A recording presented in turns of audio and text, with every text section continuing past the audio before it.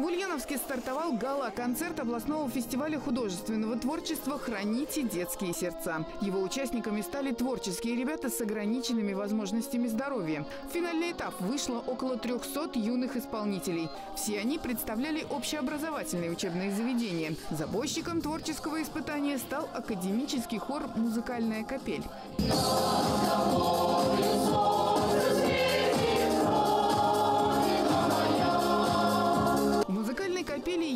Обстрелянные бойцы. На их счету победы в международных и всероссийских конкурсах.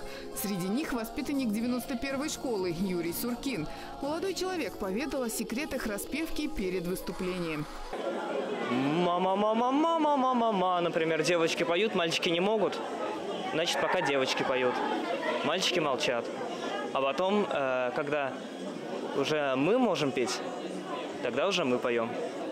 На фестивале различные виды творческого самовыражения. Это и танцевальное искусство, и жестовое пение, и вокальные номера. По мнению организаторов, подобное сценическое испытание поднимает самооценку конкурсантов, а еще раскрывает их таланты.